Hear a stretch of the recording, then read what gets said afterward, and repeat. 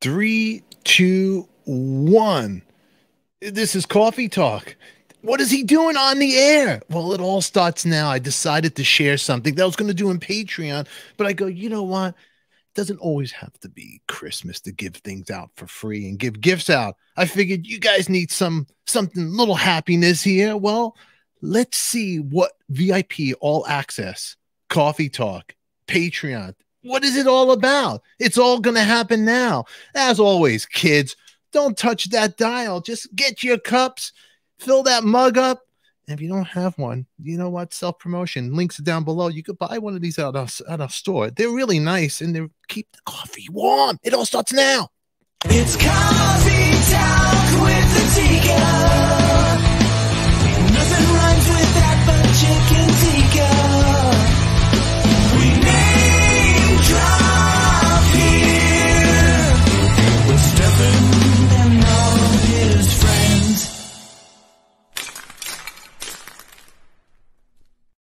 Howdy, howdy, howdy. It's great to see you guys here. Normally, what I do do, I do all out recordings and interviews, unedited, uncut in Patreon. We have a lot of great stuff there. So make sure you check it out. And also, kids, find us the, the podcast. You could download it, iHeartRadio, wherever. Just go. Spotify, it's there.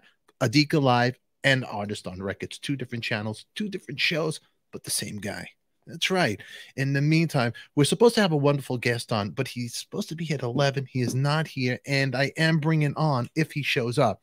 Supposed to bring Fritz Coleman. Uh, if you don't know who Fritz Coleman is, he was the weathercaster in Los Angeles from 82 to 2020. And he also now has his own podcast show, Media Path Podcast. And I was going to talk about that with him. It's a lot like this show, where he'll bring uh, authors, celebrities, musicians, Henry Winkler. He had a lot of cool people on there. Even some of the same guests you might have seen here. Um, he had John Sebastian from the Lovin' Spoonful, which is on our other channel, Artist on Record, which if you don't know about that channel, subscribe to it. It's a lot of fun. Links will be down below. But in the meantime, it is a gr- it's always great to see everybody here. Great to see you here, and thank you all for the support and for your super chats. I appreciate it very much. Mwah! Cool, very cool. Who else is here? What's going on with the other guys out here? Anything special? No. Sorry. There he is. I had an outdated version of Chrome. Uh, Stefan, I'm really apologize for being late. Fritz, don't you worry. We're on. I'm we're a, uh, live on the air. This is like this is this is this is the fans are waiting. Hold on, Fritz. Hold on. Do you hear that, Fritz? Look at that. That's the reception I so richly deserve. Don't worry, Fritz. I I I had an. In, you know what I did for you, Fritz? Just in case you didn't show up, I had an interview of you. You, you didn't have to be here because this is what I do. Look. rewarding aspect for him has always been and will continue to be Oh, helping God. others. One of the many reasons Fritz is so admired by NBC4 president and general manager Steve Carlston. You are just somebody that gives back to the community all the time. You're great on air. Everybody loves you. But in deep down in my heart, I'll always think of you as the kindest person I've met in this business. NBC4 vice president of news Renee Washington calls Fritz a legend. This is for sure the end of an era, but the best part about it And he makes us all so much better. How I felt when I started was nauseous, insecure, and absolutely certain that this would not turn into a career. And how I will feel uh, after the 11 o'clock news on the last night is nothing but grateful. You're the face of the station, Fritz. Oh. You want me to weep on camera? Is that what you're going for? This has been a hard week, Oh, sweetie. but I'm going to get you to commit on camera. If we're shorthanded, Oh, no problem. you live down the street, No will you problem. come in? No problem. Thank you. You're my friend and I love you, so I'm not going anywhere. Yikes. Yikes is right, huh? That was that's a heavy moment, Fritz. Now, here's the deal. I had not watched that since I retired two years ago. Wow. Crazy. Because when we started at the store, before anybody knew who Andrew Dice Clay was, he was like in the middle of the rundown at night. and and and the Dice character was the one he closed with, and it was his biggest laughs. And he would do all these impressions, Al Pacino and Robert De Niro, and all these great impressions. But the killer was the end when he did the Dice character and just did his whole id. You know, he unloaded his real personality, and that exploded. And then he took good advice. I don't know from Mitzi or from somebody who said that's what you should be doing your whole show as develop this character because that's the one that kills and then he was off to the races then you couldn't stop him and he was the first comedian in history ever to do two nights in a row at madison square garden unbelievable Crazy. Unbelievable. hmm Truly unbelievable. Yeah. So you you were there for the whole heyday of seeing him grow into oh yeah yeah yeah So you so you you saw the whole because that's a whole story in itself. The comedy store is so legendary. that's a very it's uh, everybody's relationship with a comedy store is very conflicted because some people thought it was haunted some people didn't like the energy in there but if you got on mitzi's good side and andrew it, she mitzi who was the owner of the comedy store in sunset uh, if she liked you and saw potential in you she would be your champion and she loved dice and sort of escorted him to the top of his career Yeah. you know, and and he was there at the time when Robin Williams was there and Richard Pryor was trying material out for Live on the Sunset Strip, and all those guys, Steve Landesberg, and all these wonderful comedians. Uh, uh, Letterman, uh, Leno worked there, and he was also there for the strike, which was a real hairy time there. Wow. When the comics went on strike in the, I think it was like 79, 80, because up until that point, and people find this hard to believe, they never paid the comics to work at the comedy store. I mean, the owners of these clubs, like the Comedy Store and the Improv, were becoming millionaires, not only from charging a cover charge, but you know, charging ten bucks for drinks. But they never paid the comics, and their feeling was, no, the Comedy Store is comedy college. It's a gift for you to be able to perform on our stage and have the entirety of the entertainment business see you perform. And if you get famous, it's because you worked here, which is BS. You know what I mean? You're paying the busboys and the waitresses, and you're not paying the comics 25 bucks. And so they had to go on strike to get that done, and they did. So Wow. That's crazy. It was a crazy time. When when did you when did you arrive? I arrived uh, in September of 1980, uh, and uh, I was I was a DJ for 15 years, and I was when you were a DJ back in the 70s and 80s, you would get jobs hosting at various clubs. And, you know, either spinning records or just talking or doing you know wet T-shirt contests or whatever it was. So I got a job emceeing at a jazz club, a very famous jazz club in LA called, or uh, Buffalo called the Tralfamadore Cafe. All kinds of famous people. Spyro Gyra got their start there. Sarah Vaughan worked there. It was great. And so, in a jazz, you know this, you're a musician. Uh, jazz players are on their own time clock. And although the uh, the show is advertised to start at eight o'clock, if the if the band's not ready, you know, they're in the back tuning up, putting new strings on their mandolin or whatever. Maybe they don't start at eight o'clock. Maybe they start at eight twenty. Well, the owner of the club starts the show at eight. He's paid. He's got people paying a cover charge. He's starting the show at eight. So purely as a defense mechanism, I started to write material for myself so I'd have something to say until the band decided to take the stage 10, 15, 20 minutes later. And I built a little, you know, mediocre comedy repertoire for myself. And I got uh, smitten by doing the comedy. And I decided to come out here to LA to do it. Back in those days, you had to go to the comedy store to get famous. Every comic that did the Tonight Show mentioned that they were at the comedy store. So I came out here woefully underprepared, man. I was, I was, I didn't have the shot. I had like six to 10 minutes of good material.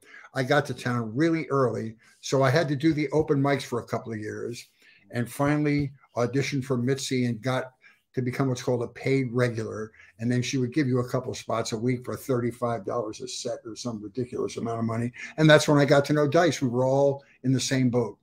And uh, it was a wonderful time, but scary. The comedy store had an interesting vibe. There was darkness, there was light, you know, it was interesting. Yeah, it it does have it still has that mystique that when really I went does. in, it, it really does. Was convinced they had ghosts in there. And, uh, you know, he, because it used to be Ciro's, the great mafia run nightclub where all the greatest bands in the world would play there.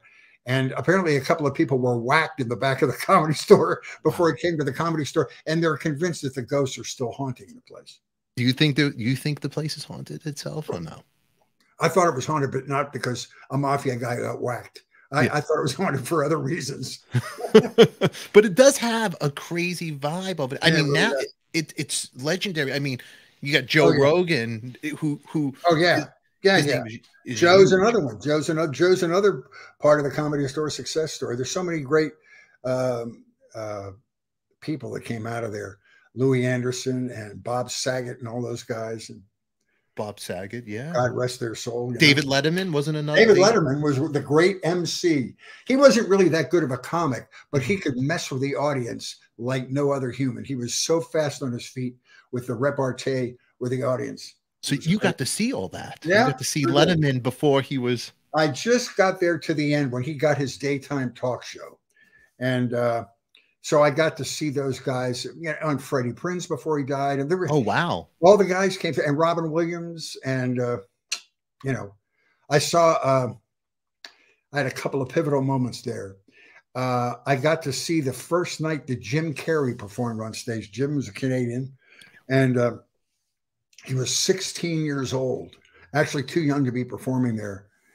And the first night, and, and you know, when you work in a room, if you can get the waiters and the waitresses and the and the wait staff and the bus boys to stop and watch you and be engaged by your performance, you know you're doing well.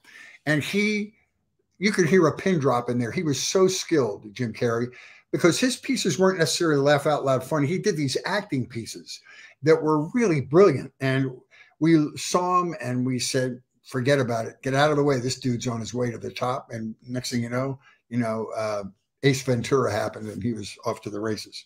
Yeah. And then I saw uh, the night that Mike Nichols and Steven Spielberg auditioned uh, Whoopi Goldberg to do The Color Purple was in the main room at the comedy store. And her opening act was Bobcat Goldthwait. So I got to see Bobcat and and and uh, and uh, uh, Whoopi for the first time on the night when she was cleared to do The Color Purple. So it was exciting to be there. You know. Yeah.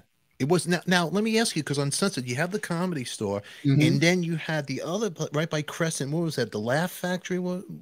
Yes, that's that, that's that right at Crescent Heights. That's uh, uh, which turns into uh, uh, Laurel Canyon, going Mhm. up over the hill, and uh, that's they do a good job there. That's probably I don't want to say that.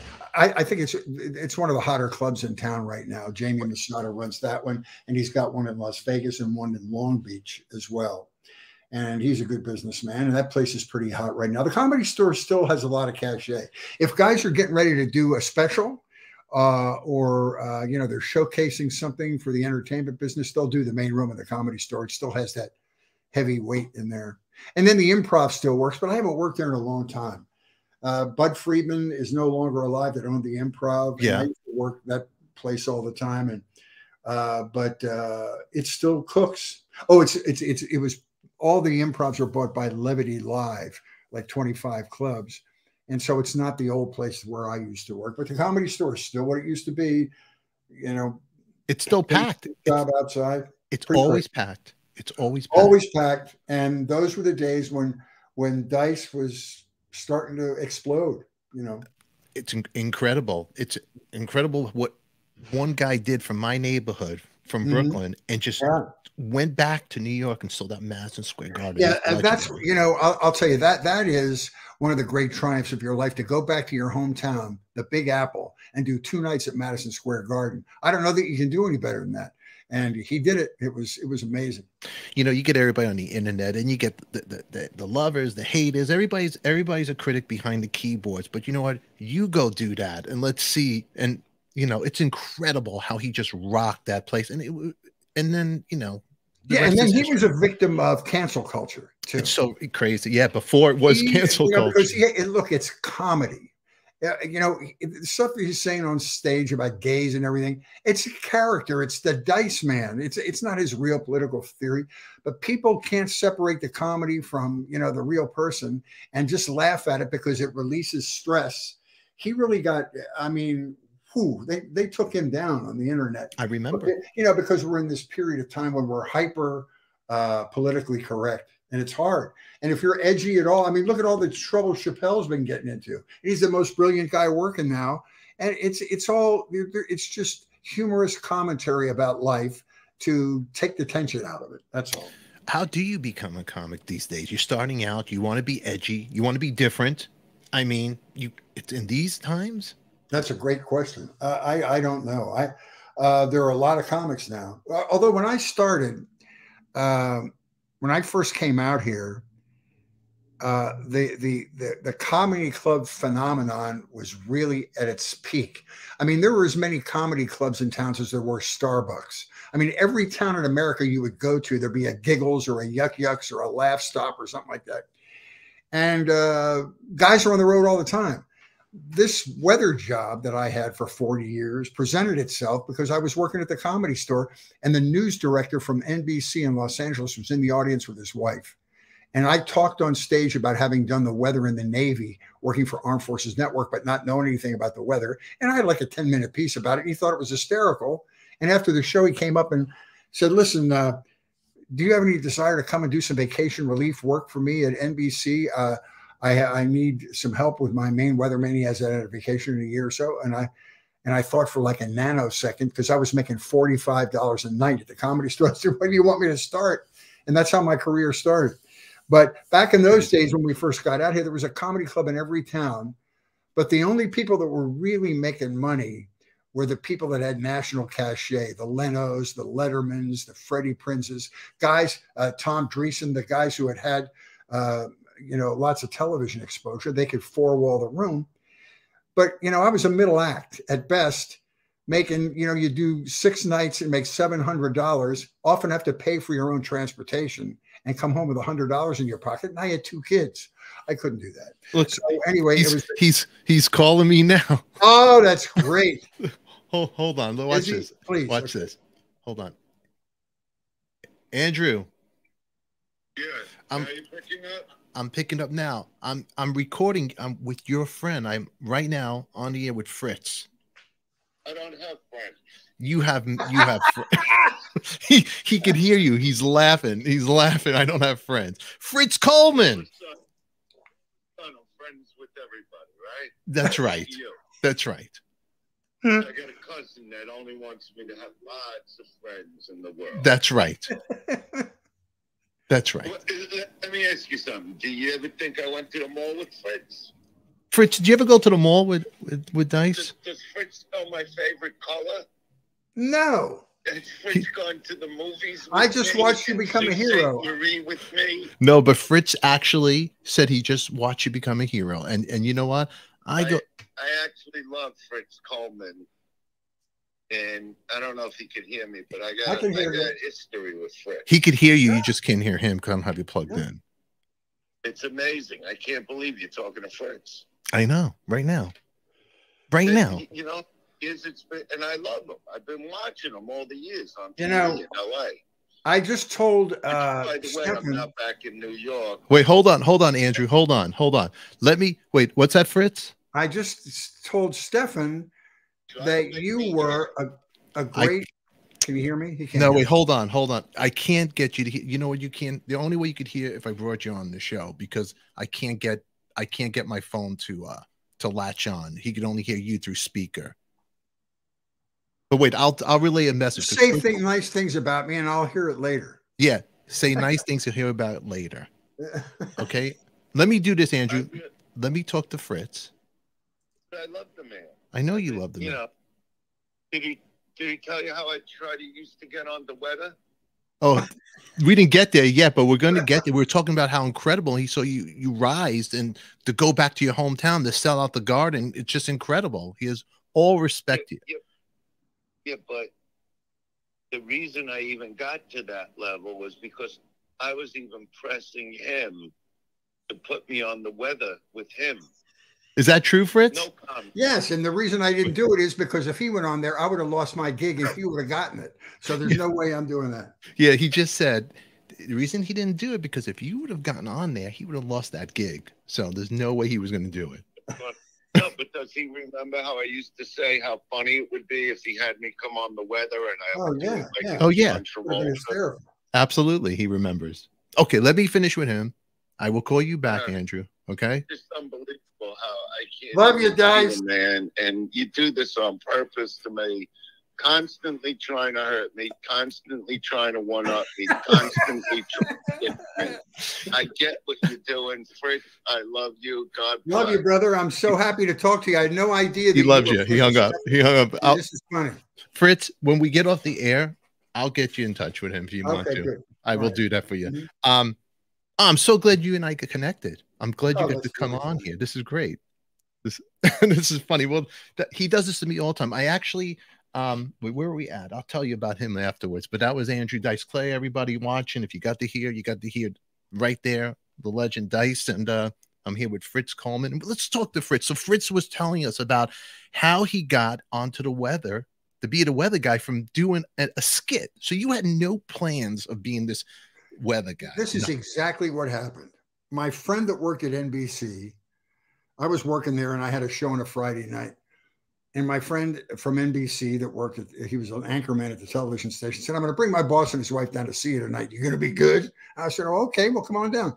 So I comped him in. And, and after the show, this is true. I told a story on stage about working for Armed Forces Radio and television and doing the weather in the Navy, but not knowing anything about it. And I made a whole joke about that. So when I got off stage, I went and met this guy's boss.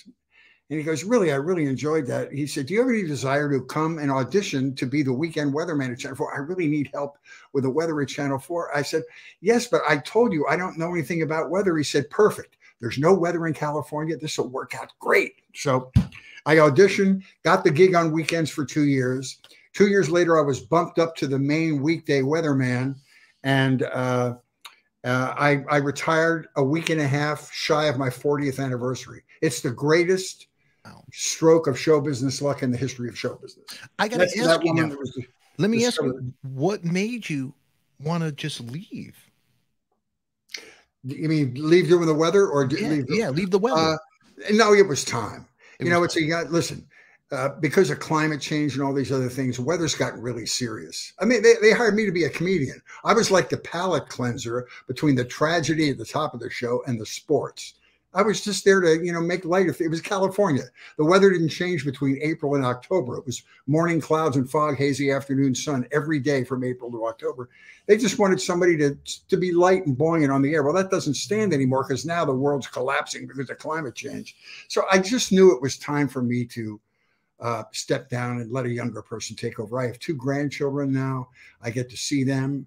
And it was, you know, life just tells you when it's time. so your day, your like- day, your day being a weatherman, it was it was long, huh? You would Yeah. What was the schedule? Well, yeah, it was, it was, um, yeah, because each weatherman, when they were on, was responsible for his own broadcast. So I did the five, six, and 11 o'clock news. And so that made me do a split shift. I went to work at noon. I worked till 6:30. I got off the six o'clock news. I came back at nine to do the 11. So it was a 12 hour day with a nice two hour dinner break in between where I could go home and have dinner with my kids, do their homework with them and everything. But it's a long day. A long- And when you get old, that 11 o'clock news will hurt you because at eight o'clock, I'm going, "Ugh," you know, it's, it's, it's tough. It was, awful. So It's it's it's you know, and if you went to Trader Joe's, you'd be you couldn't find parking. I love Trader Joe's when I can afford it. it that's that's that's a hard one to do. But you know what I notice about you because in New York, I grew up in in New York, and I had like the eyewitness news. You had Storm Fields. Everybody Storm Field, New York. Yeah, you had and and Frank Field before that, or what, his dad. Who was his dad? Frank Field. I think I think it, yeah, I think Yeah. you're right. And uh, you've had a lot of the you know the major guys work in New York. That's the big uh, the Big Apple is the big market. The big, but a lot of the weather guys would add like storm or rain, or they have a, a weather name. You never changed We had a guy. We had a guy out here who's still working. Actually, his name is Dallas Raines. Yes, And people say, "Is that his real name?" I said, "Not only is his real name, his son's name is Austin Raines. So you have Dallas and you have Austin, and his daughter's name is something else, another Texas thing. He's a Texas boy, and uh, but he's a good guy. He was like a um, He's still in the air. He was on 40 years as well. He worked at CNN and then he came out here. And he was like a nationally ranked football quarterback at Florida State. He was a big deal in college football when he worked. So That's pretty interesting. Yeah. I, I always wondered about that. I go, did some of these guys just change the name to get like, you know, I, I know it. We had another guy called Johnny Mountain. That was not his. I don't know what his real name was. But Dallas Raines was his real name, which was crazy. People. I remember Dallas Raines very much so. Yeah. And I, and I wonder, and he's one of the guys that triggered me because I would see the storms, I'd see this. I go, Yeah. this can't be, this got to be a fake name, but it's it's not. No, it's Okay, his real name. I, I could talk. I, What do you I could talk to you for a long time. I don't want to keep I, I don't want to keep you time all day, but I want to I want to push out also Media Please. Path po- Mhm. podcast that you're doing. Yeah. And right No, here, I, I appreciate the chance to talk about it. Um, Yeah. Media Path is a podcast that I'm doing with a close friend of mine, Louise Palanker, who's been my friend for about 30 years. We uh, began our relationship because she produced two of my one person shows back at the beginning of my career. And uh, we just saw eye to eye on a lot of stuff. We like the same movies, we like the same books, we like the same music. And then when I retired and I was no longer contractually attached to NBC and I could do independent work, she said, Why don't we just do a podcast together and just kind of continue the conversation we have every day as friends? And we'll, we'll give it a purpose, which is media path. That is when we come on at the top of every show, we uh, talk about new stuff that's streaming, like books and TV shows and movies, and just talk about it for five minutes. Then we have a guest and we have all kinds of guests. We, we have some of the same guests you do. Yesterday, we had a great guest. Yeah, you seem like old enough to appreciate this. We had the granddaughter of Roy Rogers and Dale Evans on. oh, wow. She just wrote a book, and it's really cute, and she's very charming. But Roy Rogers was one of the only shows my parents would let me watch when I was a little kid, so it meant something to me. But I mean, you know, you know how it is. You learn. You have you have great conversations with interesting people. How, how about on your show? Any bad conversations with any anybody? I've had people who, you know, this. I don't know why I'm telling you this. People can fall into two categories. The bad ones can be either people who, you know, they're squeezing you in and they don't really have time to talk to you, but their publicist wants them to do this, and so the answers are short, and they're going, "Pick up the pace. Let's get through this." And the other ones are just people who are just flat not interesting Yeah. and can't string a couple of sentences together. The best kind of uh, a guest for me is to have, I'll, I'll give you an example Christopher Knight, who was on the Brady Bunch, right? And, you know, we know these people as young actors, and what, you know, the cliche about actors is they're superficial and they, you know, they can't talk without a script. This guy turned out to be one of the most interesting conversations I ever had because, as it turns out, this guy's a computer genius. And when he retired from the Brady Bunch, he started a computer company and sold it for bazillions of dollars and Wow. became a consultant in people setting up computer programs. And it it was a fascinating conversation. So, the best kind of conversations are when you learn something interesting about somebody you didn't know about. But you know, the other ones are like pulling teeth where time slows down. But we haven't had that many of those. You, know what, Christopher Knight? You made me just think because he also had furniture that he was like on Wayfair Market. Like he has his own company. It's online. Yeah, the, you know, Don't- very, a very, a very uh, knowledgeable businessman. Very smart. I like him. I like to get. Yeah, he's a really nice guy. And the other kind of guest I love, and the great example of this is people like Christopher and Henry Winkler. Have you ever interviewed Henry? I would love to. Are you kidding me? That's No, a we'll, bucket we'll, list. We'll, we'll get you some email because he has a he has his autobiography out now, so he's wi- willing to promote it. I think. I'll You want to hear something funny about Henry? Is my buddy because I was, you know, playing with um rehearsing and the guy I was playing with was from Guns N' Roses at the time. So the owner of Mate's studio, Bobby, his father, Bruna, wrote the character, all the lines, sit on it. He was the writer for Oh Happy my God, Days. that's funny. So Henry would, you know, know. Anyway, Bobby's a good friend. Henry is maybe the nicest person in show business. really. And the people I really love, and you probably agree with this being in the music business and working with people who have like global notoriety. I love people who are talented, but they're comfortable in their own skin. They don't have to make you feel uncomfortable or talk down to you. They're just regular folks. And Henry's a great example of that. And those are the other good guests I like to have on there. People who are, they're not trying to impress anybody. They're just having a conversation. That's what it's about, a conversation. You know, I was dabbling, looking at the show. I'm like, oh my goodness, it's it's almost like I should just go join their cast and be their partner up there. No, you, you know, good job. Listen, doing it on your own without a co-host to kind of spell you a little bit is hard. It's a lot of talking, And uh, I, I respect to you. You do a good job. I, you know, Fritz, I appreciate that. Now, how could anybody want to give you a hard time coming on the show or give you this much time? You know, do you ever want to tell them I'm Fritz Coleman? Yeah, come on, damn it. What's the matter with you? No.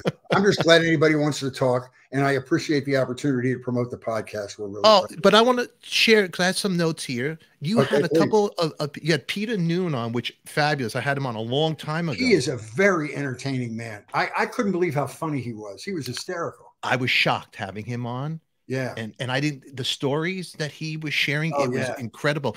And, and you had Pat Boone. Yeah. That's incredible. You know what I had, you know, um, you'll appreciate this. And I'll tell you what why this is very interesting because just last night I watched the documentary about Little Richard on Amazon Prime. Have you seen that called I have not. No, I am I want to see everything? You got to watch it. It's brilliant. But you know the the the uh, the the the the blame is that Pat Boone stole Little Richard's songs and anglicized them, and it was appropriation of African American culture. And then I did some research and found out Little Richard and Pat Boone were friends, and Pat Boone and Little Richard um, uh, credits Pat Boone with making him wealthy. He said, Pat Boone, doing my songs, gently introduced me to a white audience, and then white audiences suddenly liked my music. He said, I owe him more than I can ever tell you. So it wasn't really appropriation. He was really just advertising Little Richard's talent. And it was a, it was an interesting, and I talked about Pat with that, and he said 100%. He was very interested. Wow, that's that's pretty cool. You know, when I was moved to LA for fame and fortune, I got a job at a lingerie store on Wilcox and Hollywood Boulevard.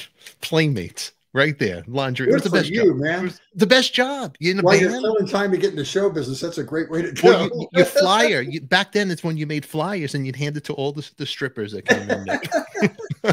there. You know, So there was a post office there, and I'll never forget this. There's a posse coming out, and this is this has got to be around maybe uh, I moved out here 91, 92. So there's a posse, and they're going into the post office. It's little Richard. He's handing out Bibles with his autograph already stamped and i and he handed me one i couldn't believe it and i i don't know what i ever did with it. I'm so you know what upset. though uh, as a musician and and if you are interested in the history of rock and roll and he he he claims he is the, you know the architect of rock and roll and the greatest you got to watch this thing. It's fascinating. I have what i didn't know i mean we- we always knew he was a flamboyant gay guy but he used to do like uh he used to do uh, drag shows in in georgia when he was younger dressed as a woman and singing as a woman on stage it's fascinating. You got to watch it. Oh I, you know what? One of the first movies when i was a kid was and it was i guess they were considered the oldies. It was early 70s let the good times roll. Oh yeah yeah. Great movie. But chuck Mhm. Ber- i had the album. I still because i'm a big vinyl guy. Chuck berry's not on the record because he probably didn't want to sell his rights but you had chubby checker danny and the juniors little richard Yeah, yeah. diddley great album double.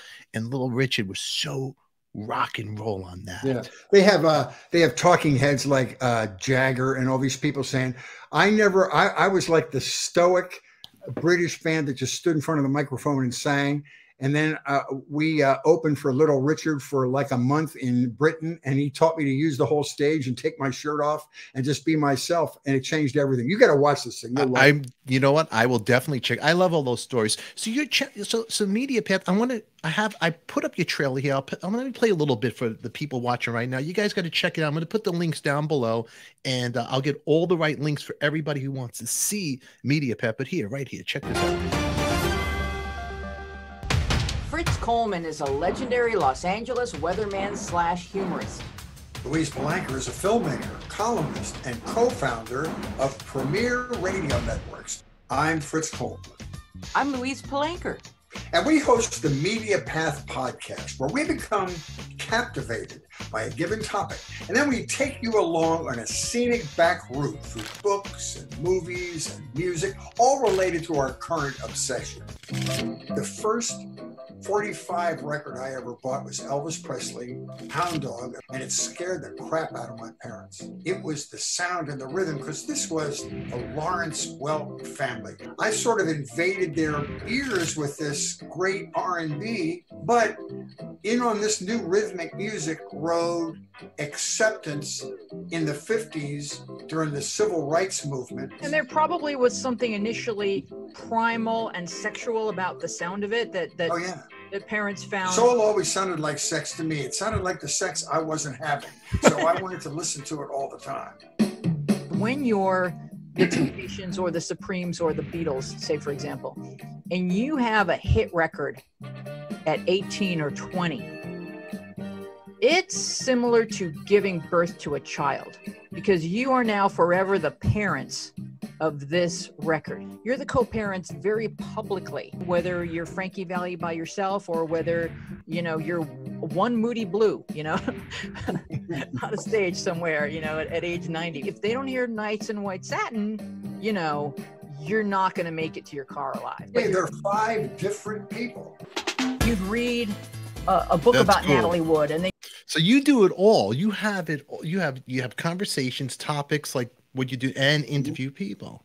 Yeah, and Louise, uh, my co-host, uh, really the inventor of the podcast, um, is a documentary filmmaker. She did a great uh, documentary about the Cowsill family. Remember the Cowsills? The Partridge. Family, which was based. Yeah, on, yeah. the- I mean, the Partridge Family was based on Based, that, yeah. and uh, she did a documentary about that family that is wonderful. It's on Amazon Prime. It's called A Family Band, and you know, it's it's it's if you looked for something to compare it to, it's kind of like the Jacksons, where they had this squeaky clean professional veneer they showed the American public, but behind the scenes there was some stark dark stuff going on. They had an alcoholic father that was abusive to the wife and the kids. It's a it's a fascinating story, culminating in losses during Hurricane Katrina in New Orleans. It's a, anyway. So she takes all this stuff and edits them together and post produces the podcast, and we put them up on YouTube. So she's she's in charge of all. So it's kind of what what I'm doing here by myself. I'm doing these interviews and edit it, and I, I just rolled this out today live. I go, you know what? I'm just going to go out live and roll this out to see to get more views, and then I could edit Absolutely, it. And, and absolutely. because the editing, I want to pick your brain a little bit while we're here. And this is a lot of this is I got to have both of you two on on the show because I do my other channel, Artist on Record, all music. It's just Mhm. you know this is more Yenta talk. You know Yenta, we- you know this channel. But I love the stories that she did that because that's such an interesting story about the Cowsills. A really, really crazy story. Yeah, it them. started out she was a fan, and then uh, I don't know what happened. She got onto some fan site or something and became interested and found out that one of the Cowsills was performing, doing an acoustic set locally in Studio City, and went to hear him play, and they struck up a friendship. And then they were having this resurgence where they were doing the Happy Together tour, where all these bands from the Yeah. 60s and 70s were going on the road, and uh, follow them around and they're they they they were very honest about their relationships the, between the brother and the sis brothers and the sister and all the, the they were very forthcoming about the darkness in the family. And it really made for a compelling documentary. And it's just like the jackson family where it it, it it's not what you see on camera. It's the squeaky clean sales job from tv and then there's the reality of uh, a complicated private life. And it's really wonderful. I just had a wonderful guest on my show, Billy Stanley, stepbrother of Elvis. And that Wow. went viral because one of the fans here, Deb Jackson, she's right here in the chat. She goes, Oh, you know, 'cause I have a Patreon. And usually I do these shows. What, what we're doing right now, I do it in Patreon. And everybody watching, shameless plug, join my VIP Patreon because if you don't, I'll be living in a tent without any internet service No, and you no. won't get these great interviews. you like need to now. email me all that information so i can help you out and, You, and- you know what? I when we en- when I shut this broadcast, don't hang up, and then Okay. I'll when I stop recording something there, I'll give okay you great you know information. So I had a Billy on, and my best friend is the drummer for Kiss. Me and him were in a band together. He's in Kiss now. So anyway, uh, we talk all the time. So I go, "Oh, Eric, you- you're gonna love this story," and I, and and Gene knows me, but but Eric is my friend, a drummer, Eric Singer. So I go, Elvis listening to Kiss for the first time. And it's a two hour interview because we sometimes I only do 25 minutes with people. I don't want to waste people's time. But if they like you, they want to stay with you. Oh I'll i would i would have killed to have been, been a fly in the wall for that experience So he tells me the whole story. And then I made a clip. I send it to Eric, but I go, I go, I have to edit it because I know sometimes Gene might just post it out. So I edited kind of really quick, 10 minutes. And then Gene writes back to me email because they're in Rio or wherever they're at, South America, and uh sends me do this, do that, take this out. I go, okay, whatever. But I kept it unlisted, and all of a sudden I see the views are going up on it. I'm like, what the hell's going on? I looked at his Twitter. He tweeted, Gene tweeted it out, and it got me 70k views Nice. over in three days. It's still growing. I couldn't Wow. believe it. So I thanked him. But the conversation was really incredible. It's Elvis's stepbrother, which uh, there was three brothers, three stepbrothers. His mother Dee married Vernon when Elvis was in the army. She met Right. him, and uh, the rest is history. And great, great story. And I'll, I'll introduce you to Billy, and you'd like to talk to him. He has like, two books out. New York Times I- you know, bestseller. and, that's the thing we love in our show is the is the old show business lure, the old show business uh, stories. I, I just love that. They Remember Joe Franklin? Remember him? Yeah, of course. I, I, I sometimes I feel like I'm turning into like Joe Franklin, and and I just love. That's I all right. love There has to be a new Joe Franklin. You're doing a good job. No, I'm tr- I'm trying, Fritz. So so now, when do you guys air your show? Now We uh, we record them every afternoon. Uh, I'm sorry, every Tuesday afternoon. We do one a week. Every Tuesday afternoon at about three o'clock. It takes her a couple days to post produce, and then we post them on Thursdays. And then she does a newsletter, and there's a lot of you know creativity that goes involved that I'm not involved in. so she's doing it all. She's doing. She's everything. doing the whole damn thing. She has a beautiful pod, a four station podcasting studio in her house, and uh, she she does the hard work. I show up at Starbucks on Tuesdays and do my job as her co-host. So you go, you go, you're on the same location. You guys go together, and that's Mhm. it. Yeah, That's it. So all you do, you you're, you're just Fritz. That's I'm it. It's a gift to have me there. I'm Fritz. that's all you are, Fritz. And then she does all the work. And uh, we, we, we both, the, the one thing we're very proud of, honestly, is we all do the research. If we have an author on there, we both read the book. And, uh, you know, when the guests get to trust you and Yeah. realize that you're sincere about it, and it's not just the same questions they're asked in a step and repeat line, uh, then they loosen up more and they know that you're interested and they'll, and there'll be a better conversation.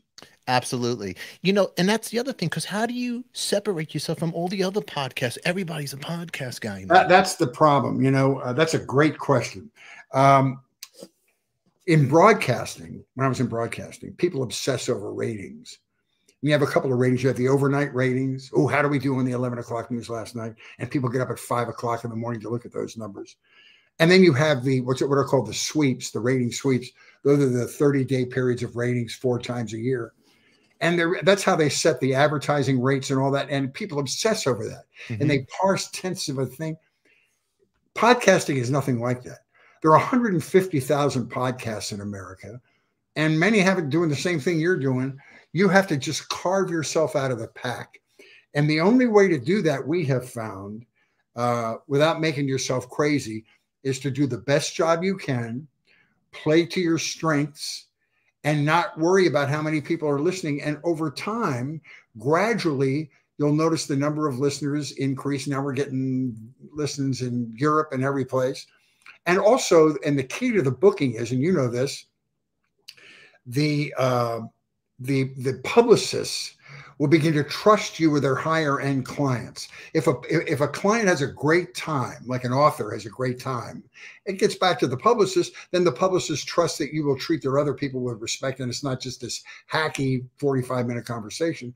And then that builds over time. So you just you I I'm retired. I'm not doing this for money. I, I mean I don't have to.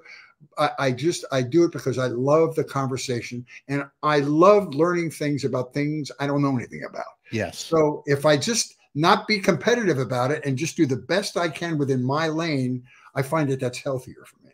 It, absolutely, and I love hearing the st- the stories and just learning about, it, especially about the people we grew up with, from Yeah. anybody from the fifties, the sixties, and seventies. As we are are getting older, we're losing. I had so Felix. Cavaliere, the drummer from the Rascals. He's from your neighborhood, right? He's I cool- Felix Felix Ca- no the the keyboard Felix the, Yeah, you're right. yeah yeah he, I had him on the show great right? The keyboardist yeah could not have been a nicer guy. nice guy just a guy from the neighborhood, you know.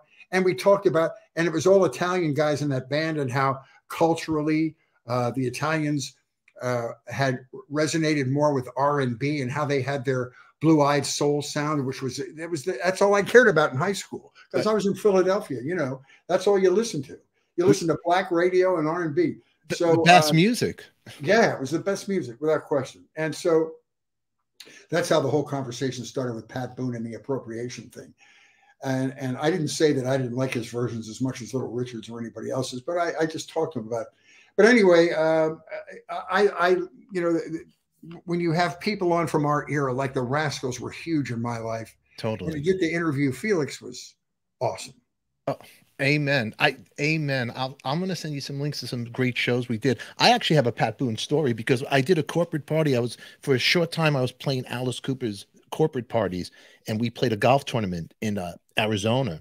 And we did the show, and he was hosting it, and it was you know because Alice is friends with him. He's a So we had this- too. He's a big golfer, and we had this big suite. I'll never forget it. And I go, and you know, I was like, oh my good, it was me, the drummer from Kiss. He was out of Kiss, and that's when they got the original guys back, and Mhm. he was down and out times. So that's why me and him are tight. I'm friends when he was down and out.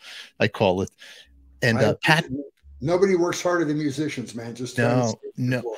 But in this suite, I go, look at this big suite. Then this guy is walking closer to me, and I'm looking. He's wearing a t-shirt. He's wearing black underwear. No, turquoise underwear, black socks. it was Pat Boone. Fritz, If you had an iPhone picture of that, you could make a million dollars. I got a picture because it was back when he had those camcorders of his golf bag, and I didn't want to be that guy. That, oh, can we take a picture because you want to be cool? So I took a picture of the golf bag with the name tag, and I sent it to my mother at the time. I go, "Mom, Pat Boone is right," and I go, "Sir, is this?" Is it? He goes, "You guys sounded great at sound check," and he went and watched TV on his side, and there was like a wall you couldn't see, and then one went, "I go, it's Pat Boone." True story. True. And you know, we had him on. The guy's almost 90 years old now, and he was funny. he's He funny. had great anecdotes about the early days in show business, and uh, I, he was a great surprise. He was so alive, and you would never know his age, and he looks good too. I was I was blown away. he looks great. Yeah, I was seeing you had you had um oh man, and you had John Sebastian, another he was legend. great. What a friendly guy, huh? They're really really friendly. He can be a cranky old man. If you said something he disagreed with, he wasn't afraid to tell you. But I Oh, love talking to him about the old days in Greenwich Village, where in that folk era, because a couple of weeks after that, we had Melanie on, you Yeah. know, the brand new key. And she was at Woodstock when she was 22 years old, but she started in all the Greenwich Village clubs like John Sebastian did. And I always wanted to be part of that because all my favorite comedians like Cosby and Woody Allen and all those guys all started in those rooms, you know. And I thought, man, that would have been a cool time to be in show business. God, what what a time, man. Man, Yeah. that's very very cool. So so up and coming. Who do you have up and coming on the show? Uh, next week we have a guy that wrote a biography of a couple of members of the Waltons, Oh wow. and, and so you know we we love we find that what resonates with our listeners is baby boomer material, you know, because we're that's just our era, like child stars and early stars in the 70s and 80s and late 60s, and that seems to resonate. So we have them on, and then I I honestly don't know who we have after that. We're booked about a month in advance.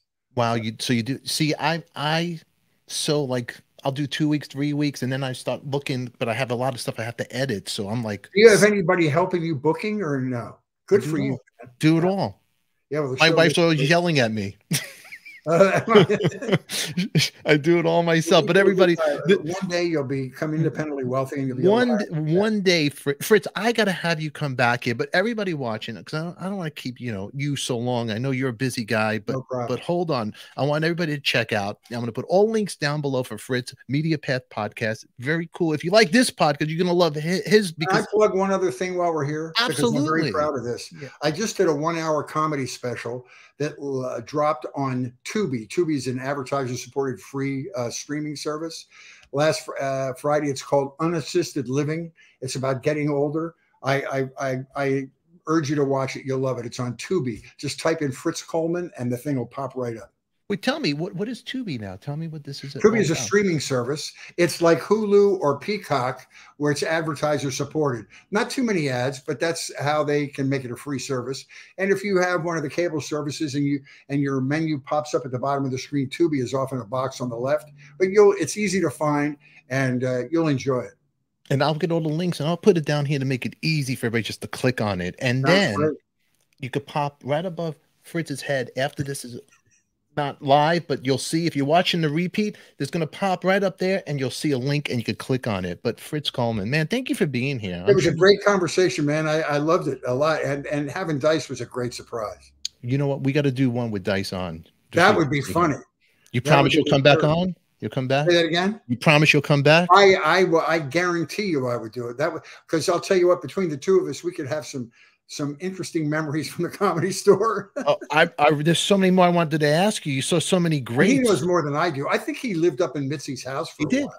He lived behind up that that house. With Sa- I think Sam was living there too. Yeah, they were all all those guys. Oh my god. That would be a reality show that It's- you probably couldn't broadcast. See, he gets mad at me, Andrew, because he goes, "You'll remember everybody else's story, but when I talk to you, you forget." I go, "I know."